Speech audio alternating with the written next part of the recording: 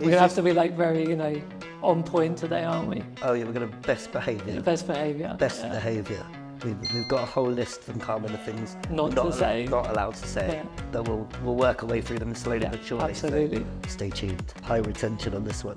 And that's my favourite thing. Mm-hmm. To get some insight that just is essentially the opposite of what I think as an individual, because that just shows the depth and the nuance that there is in the community. Over the last couple of years, there are days that I second guess myself and sometimes have like a bit of imposter syndrome as well. Got like a bent thumb, which ergonomically is pretty good. So like, Is that from Mario?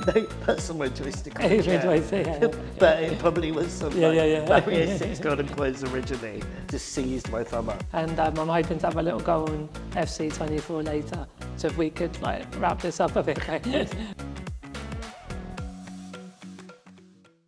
Hello and welcome to the Purple Goat podcast. Today we are still in Gamepad, or we are in Gamepad, depending on continuity. And we are joined by head honcho, maestro, founder, and spiritual leader, Martyn Sibley. I've never had that last one attributed, but we'll roll with it. How Thank you for having me. A pleasure. Is this your first time in Gamepad? It is, yes. And what do you think? I like it. It's very red. Yeah. I like I like the colour ensemble, and um, I'm hoping to have a little go on FC24 later. So if we could like wrap this up a bit, okay? but no, it's cool. It's a really nice space. Yeah, We'll, we'll do a nice interlude of FC Yeah. 24 in a second. cool. Who's your team? Well, I support Tottenham, On so that's going to divide opinion already. Um, and I've got an ultimate team, which is pretty rubbish to be honest, but I enjoy playing on. it. You're not climbing through the league. Oh, definitely not. No, no. Are you a good player? uh, I think I used to be, but the kids have caught up now. Yeah, And by kids, you mean five year olds? yeah, literally. My nephew can beat me on it. Yeah. Brilliant. Players gaming always been a part of your life, you Yeah, big time. Yeah, I had an N64, which I don't know quite date-wise on that would be, but it was a long while ago. So I used to like a bit of GoldenEye, but I've always played on the football games mostly. Uh, a bit of Street Fighter back in the day, Mario on the Game Boy back in the day. So yeah, I've always loved gaming. I had a, an interlude from sort of going to uni through 20s and early 30s where I didn't game, but the last five years I've sort of been more home-based, walk the dog, a bit more time for gaming again. My first game console was a Game Boy, Nice. and I played Mario Six Golden Coins so much. I remember hearing the gold coin sound when I wasn't playing the game. Mm. Yeah, just in your sleep. My parents were like, out and I think you're playing the game Yeah, too yeah, much. yeah. So uh, that got like um, removed for a little while. Yeah, Because I was like, ding, ding, ding. Probably actually going insane. And one thing I was going to say about the like journey back into gaming from a disability point was with my disability, it's progressive. So I've got weaker over time, and my hands are not as strong as they were like 20 years ago. So I struggled to use a controller when I got back into it. And then I found this charity, and their name is going to elude me right now, but we'll look it up. Um, and they basically have all these ways of adapting the consoles and the controllers, like making it lighter and like adapting certain buttons to do different functions. So that was quite interesting and sort of evolving through my weakening hand, but still being able to game as well. that kind of transition into sort of doing the adaptive gaming, that kind of inclusive approach, would you like for us to do a sort of campaign specifically around like inclusive gaming? Yeah, that would be cool. It's uh, absolutely, as we know, like it's what Purple Goat stands for around the consumers with disabilities. I basically want to be able to game and go to restaurants and all the other everyday life things. And so when brands have already made considerations and adaptations, brilliant. And there's a lot of that going on, but I don't think it's, it's spread around very well. So there's absolutely an opportunity to do a campaign there. Yeah, I think it's been great. We were speaking with uh, Rach before, and obviously having a campaign with Gamepad, with the kind of rig that they've got upstairs, the accessible sort of setups, and then bringing our influencers here is lovely to like find that really natural territory where it's just inclusive content, hmm. and they've made an inclusive space and everyone can just enjoy it Yeah. and we don't have to like bang the drum and dictate a narrative. It just is what it is, and it's Yeah. inclusive, fun gaming for everybody. Yeah. Uh, have you ever had to have any adaptations for gaming? Do you manage all right? No, t- tend to just kind of play on the normal controllers. Yeah. But then, like, I don't know whether you can see, but I've got like a bent thumb, which ergonomically is pretty good for like. Is that from Mario? That's on my joystick. on the Even chair. joystick, yeah. but it probably was some Yeah, like, yeah, yeah. Mario 6 Golden Coins originally. Just seized my thumb up. Yeah. Um, but no, it's good. And then, like, in terms of that kind of almost mission based sort of thing that we're on, that you're on, if you now reflect back a bit of a stock take, we're now at the start of 2024, looking back 2023, maybe before, what do you kind of see as that overarching things that we've achieved in that period of time? Both you as Martyn and you as Martyn, founder of Purple Goat. There's a lot to unpack there. Yeah. So I think, as you know, because we spoke a lot, but for the podcast, the disability inclusion stuff spans all all sectors, all areas. So there's always been a governmental, political side of disability inclusion, and I think we're very clear that Purple Goat is very much the the business case side. It it's to help brands understand what disabled people need and want as customers, as people, but from that that brand business perspective. So I think there's still a lot of other elements around. I mean, culture kind of goes between both political and business. So by media, that's a big shaper of culture. So I think yeah, broad mission is inclusion has a lot of different strands, and Purple Goat is very much that brand part. I think the last year, both for me and for Purple Goat, has been that almost breaking glass ceilings. So when we look back, there's not that many sort of entrepreneur founders with disability. There's not many larger organizations that have this business first approach. So we're really driving a new way, innovating and disrupting. And that means there's no playbook, there's no there's nothing we can copy and follow it. We've had to figure this out ourselves. And so I think the last year was we'd already proved the benefit of it for disabled people and for brands. But it's about scale and it's about going bigger and better and really just going into every industry, working with all the different brands. And there's a lot of business considerations behind that. You, c- yeah, if you've got 10, 20, 50, 100 clients, there's a lot going on there in terms of having the right people with the right skill set, being able to support that. So, yeah, I think we know now how to grow and scale the agency. We've got phenomenal people in the agency.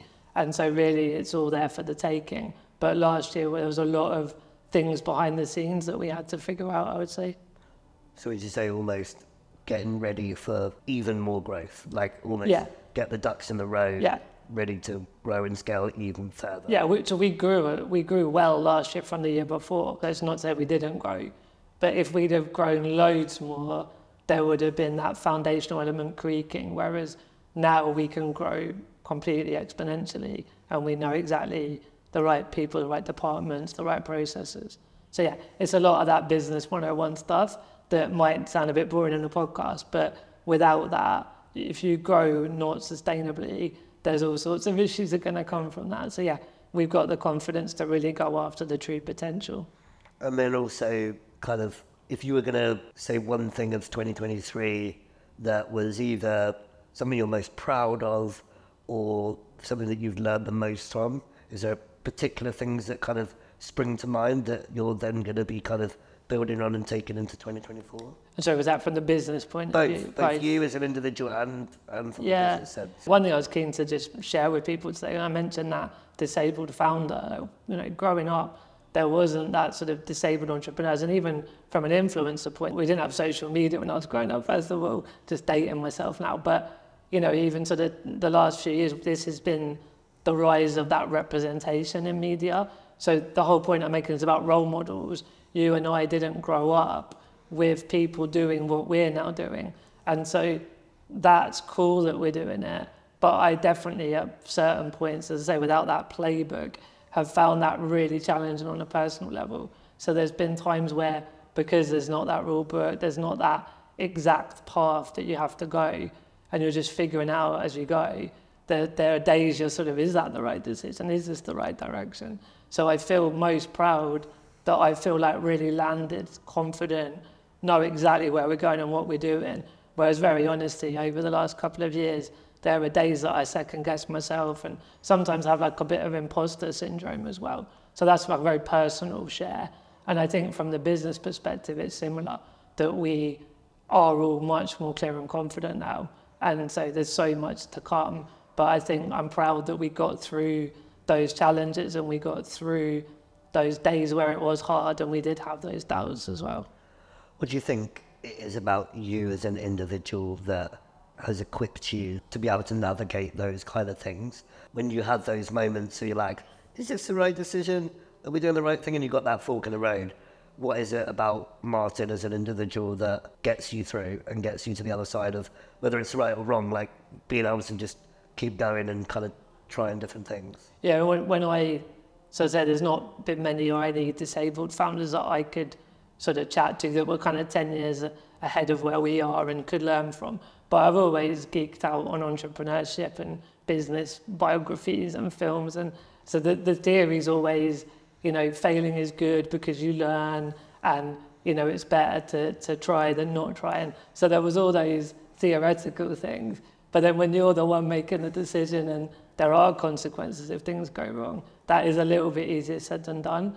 But I tried to embody some of those theoretical business practices. But I think most of all, in reality, it was like whenever you get, it's, it's the little cliches, but when you get knocked down, you get back up again, and it's that resilience. And I think also curiosity and self awareness were big.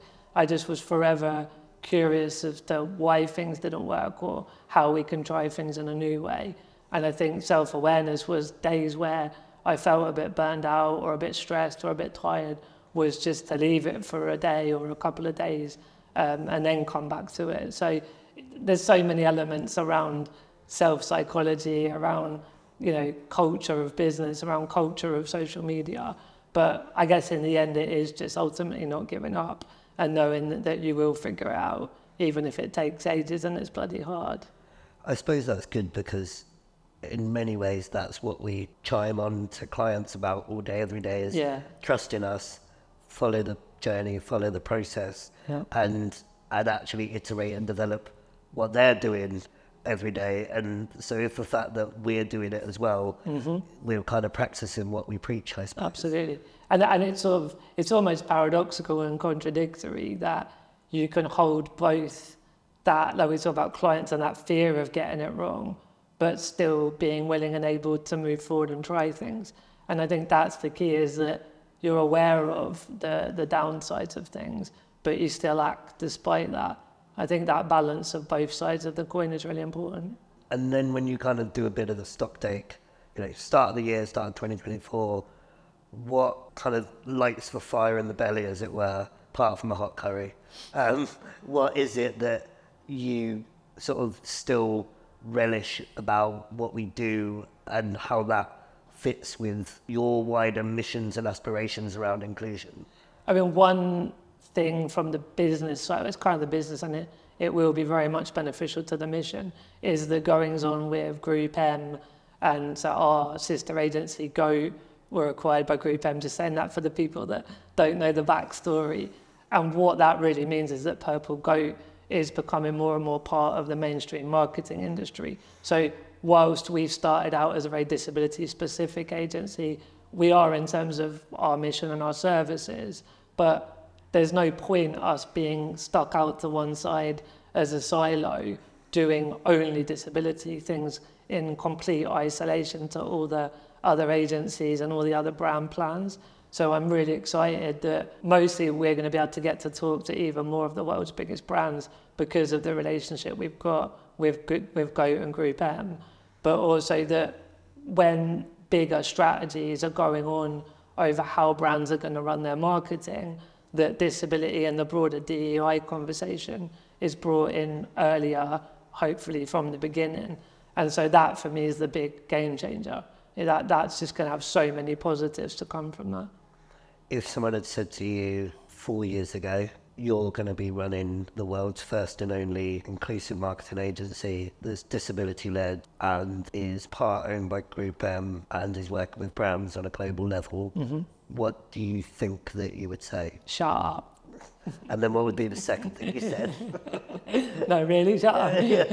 no, but it's actually a great question in terms of timescales. So, four years ago today, there was no thought or mention of Purple Goat. We're talking now January 2024. In February 2020 was the first time I spoke to Aaron. I remember I was on a balcony on holiday in Tenerife. Lovely. And when I explained the opportunity in the business case, he was like, we have to do something together.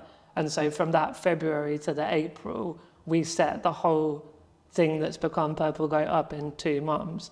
Very like lean startup from a business model perspective, but it's still pretty quick to start a whole new agency in two months.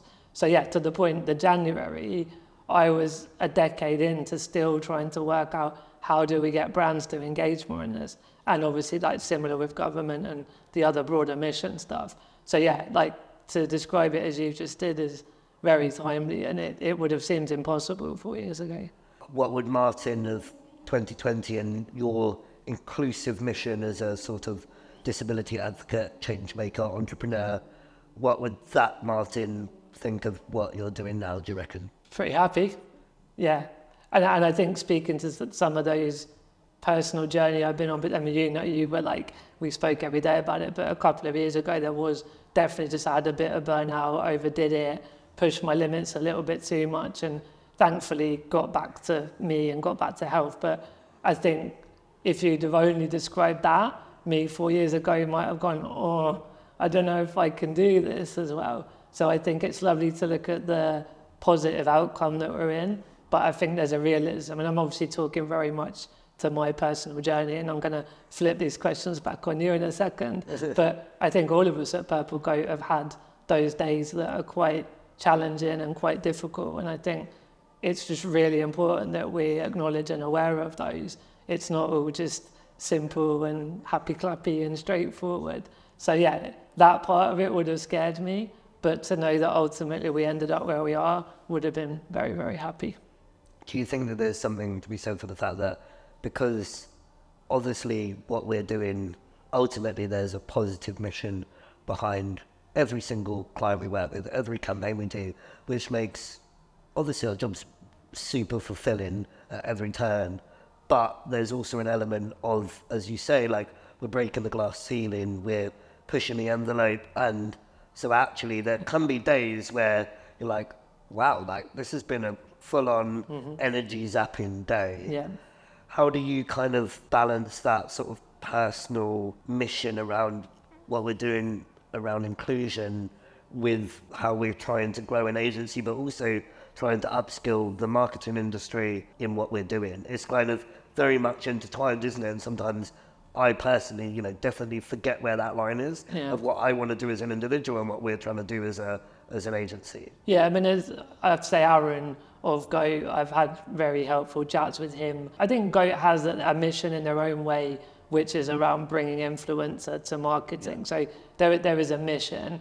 I think to your point, when it's disability and a social issue, and we've got a disability and the lived experience, I think we're obviously going to get more caught up in that because it's very, very personal to us as well. So that bit I've kind of had to figure out in general. But I think that the general sort of how to keep the business moving, how to work out where I need to put my priorities, but also sometimes when I have to just have a bit of self-care and look after me. Aaron's always been really helpful in trying to work out where those lines are. And I think for all those I mentioned, all the books and the, the films I would have watched about entrepreneurship, actually it's not about a one size fits all, one structure. I've probably more learned to trust my own intuition over time. So now I just know when I'm starting to get a bit run down and I can then take the right action. And equally, like when we're looking at, you know, is it for the, for the good of a brand and for the good of disabled people? I think we're more trusting our instincts on it as well. I think if you get in your head too much sometimes, you kind of can't see the wood for the trees. But when you just kind of feel into something, you know if it's good or not good. And that's obviously, as I say, relevant for both brands and for disabled people as well. If you look now ahead to the coming months and year, what do you think is going to kind of change within that conversation? Obviously, you mentioned around we're now sort of in the Group M family, as it were. We're mm. going to be sort of meeting global brands day in, day out in yeah. Building on where we are right now, but kind of beyond the actual mechanic of what we're doing and where we're doing it, how do you think the conversations we're having, that inclusive narrative, is going to be changing into 2024? Yeah, I mean, I think you, know, you look at, I guess, around the time of the pandemic, there was also this big rise around the sensitivity of broader DEI. So I think that that's been really helpful for Purple Goat and for disabled people because there's lots of conversations about race and sexuality and gender and the other DEI strands. That's been of benefit to disability as well.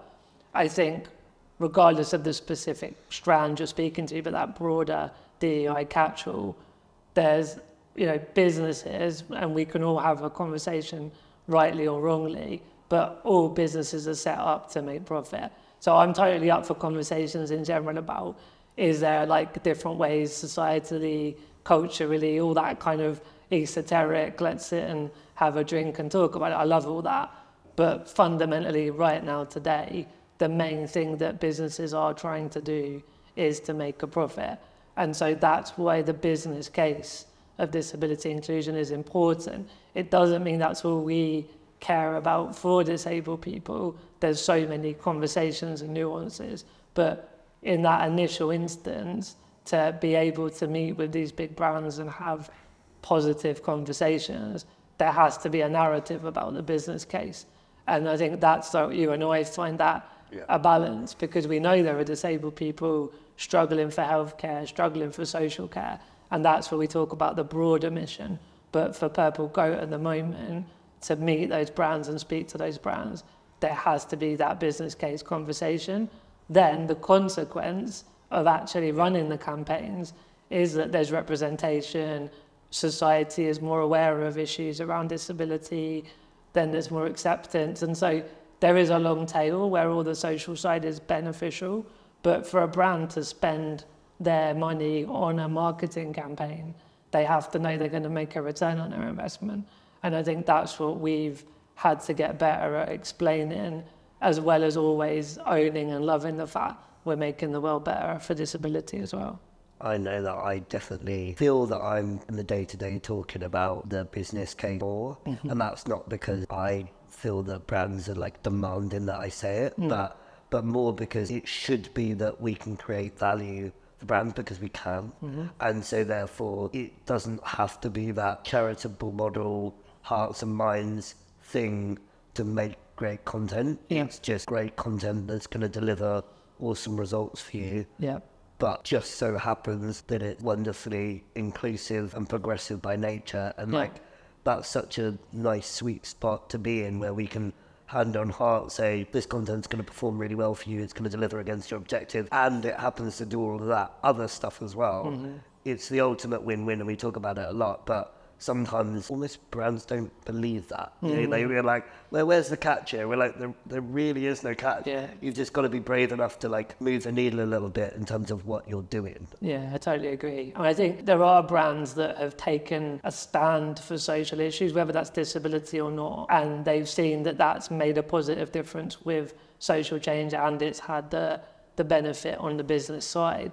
But I think if you ask most disabled people, they don't want to be a cause to champion from a brand in the abstract. We just want to be able to, for example, want to stay in a hotel, know that they've listened to and made appropriate adjustments so that hotel room is suitable for us, and then have representation of people like you and I in the marketing campaign. So that's where that sweet spot is. It does make the world better and more accessible, but it's not done as this overtly separate cause thing.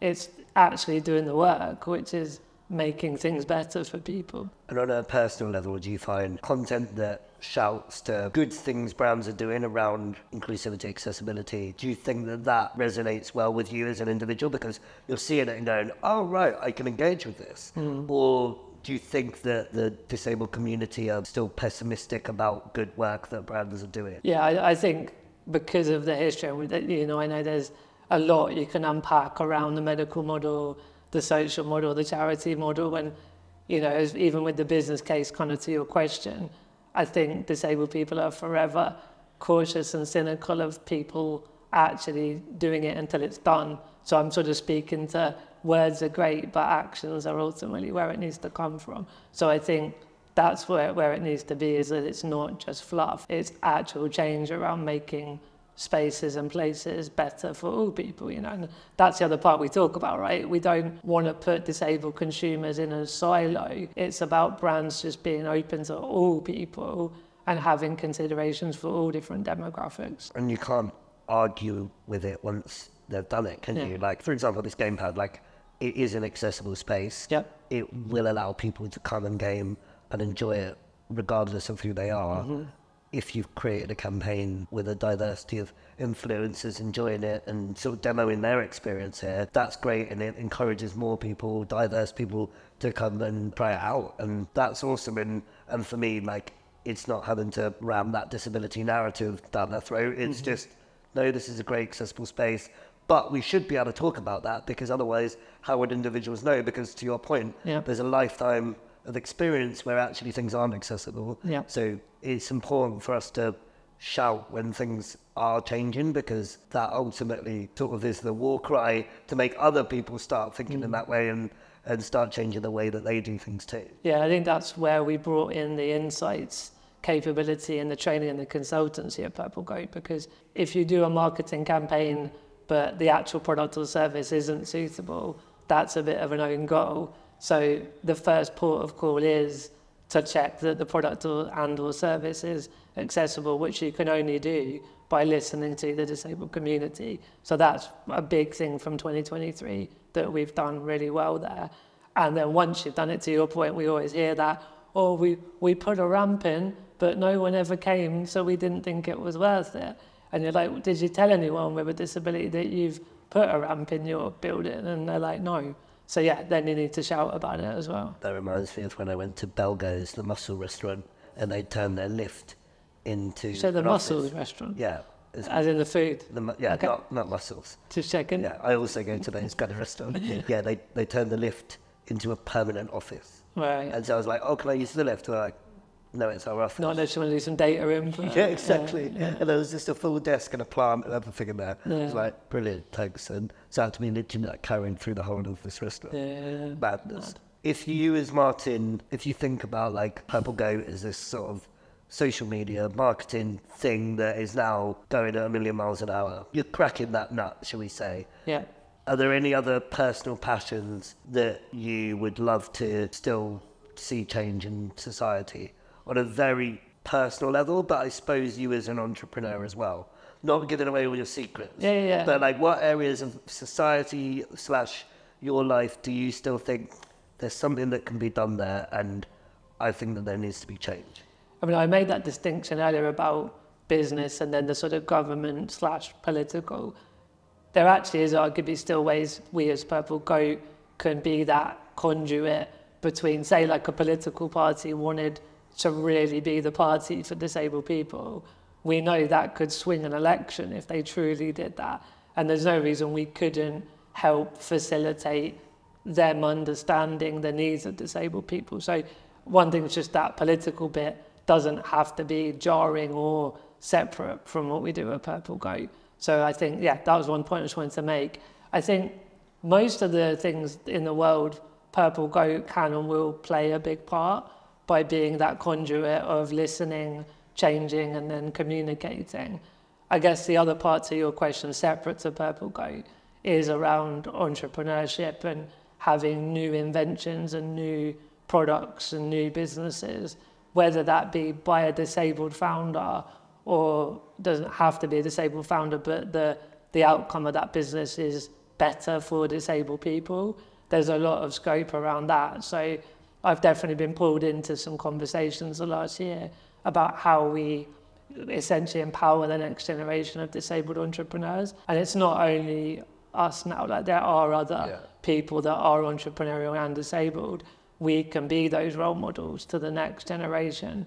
And so I guess that's the other part of the puzzle for me. I think there's definitely things that have been very rigid for a disabled individual that needs nuance, that needs adaptation. From an entrepreneurial perspective, they've been quite fixed. It's like even something as simple as you need to raise X amount of capital personally and then mm-hmm. throw it into a business. For a disabled person, that becomes a whole minefield when you're dealing in care budgets and all of those yeah. kind of things. Similarly, if you're you know the scope of your employment is changing like how does that work with the sort of the unknown of care and and and what you need on a day-to-day level and the mm-hmm. flexibility to know that you can go where you need to go are there certain things that you're seeing change in that way in that like entrepreneurial landscape mm-hmm. that are kind of unblocking for disabled entrepreneurs yeah no i agree i mean i was going to mention i'm an advisor for creo which is partly founded by Motability but it's run by Founders Forum.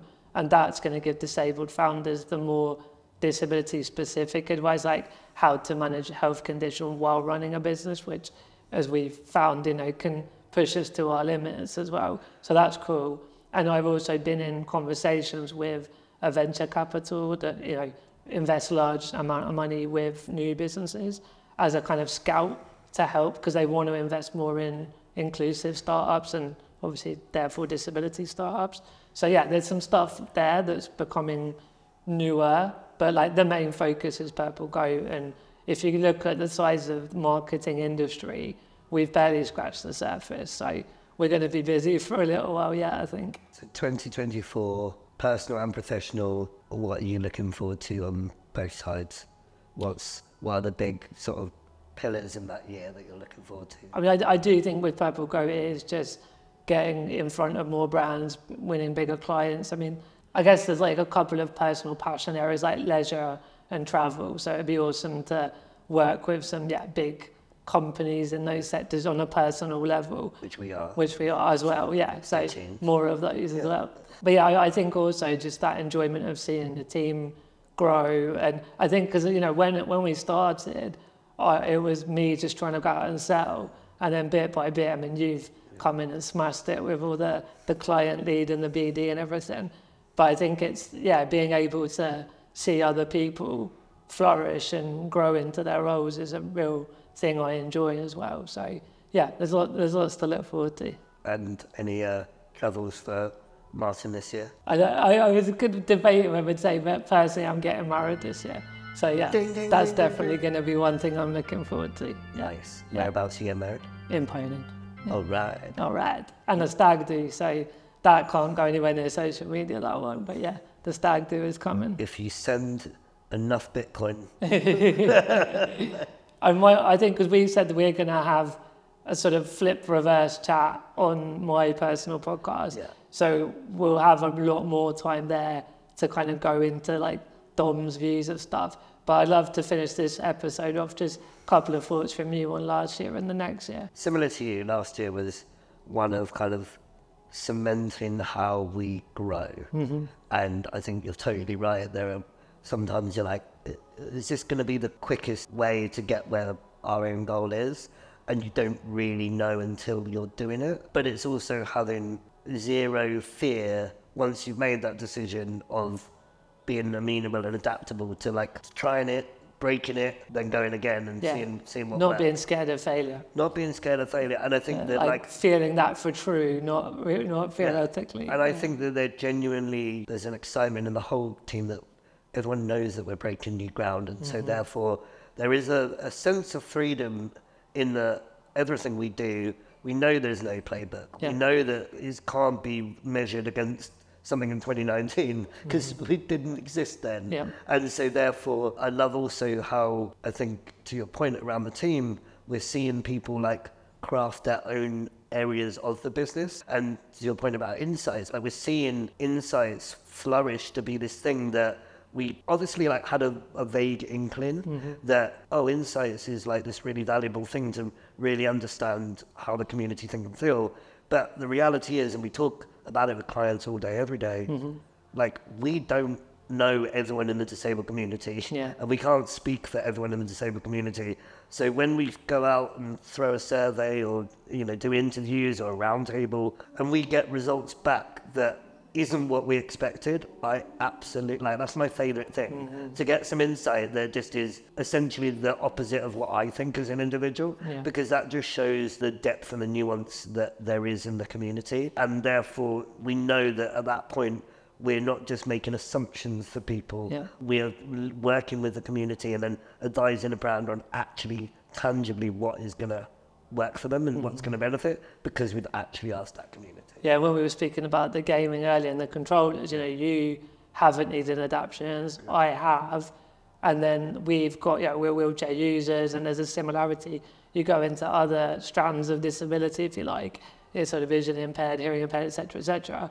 Like the insights are going to be totally different. You and I, as, as empathetic, and we've worked in this world for decades almost, we can't speak on behalf of those other sub communities. So, yeah, I think the insights is a real game changer for a lot of reasons. And the thing about fear from the client, it takes away the fear because you're like, here is the data, this is what people need and want. Yeah, for sure. And then just to answer your final bit of your question, 2024, I would say for me, the exciting thing is breaking new ground in terms of the types of campaign that we can do for clients to to show creativity that also is inclusive in a way that people haven't seen before. Like, you know, often we're banging the representation drum and we're mm-hmm. showing awesome content that is diverse by nature, that has nuance in its narrative. Mm. And that is amazing and it, you know, goes so far, like, to the way of what we're wanting to do. But then actually, like, we want to promote the creativity of the community as well. Yeah. And what can be achieved through that lens and, and showing through that creative lens, quite often things land maybe in a different way to people. So I think from a work perspective, it's, it's definitely that. And personal perspective, you're stag do. so, so we might not be around after that. Yeah, so, yeah. so it's been great, everyone. Yeah, yeah, really, yeah. really enjoyed the PG ride. until April 2024. exactly. Yeah, yeah. Um, Yeah, no, thank you very much for joining us. Um, and uh, have a lovely rest of your day, Martyn. And you too, Dom. Bye. Bye.